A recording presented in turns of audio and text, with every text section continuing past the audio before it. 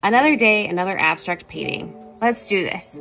This is a 48 by 36 inch canvas. The first thing I like to do to create a dynamic background is to cover the whole canvas in color. And afterwards, I neutralize the color so it's more subtle and my focal point can then be added. The reason why I do this is I want my paintings to be interesting both close up and from across the room.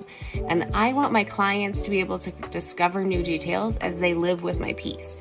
And then I just play with the muting of color and letting other colors come through and it's kind of a back and forth process.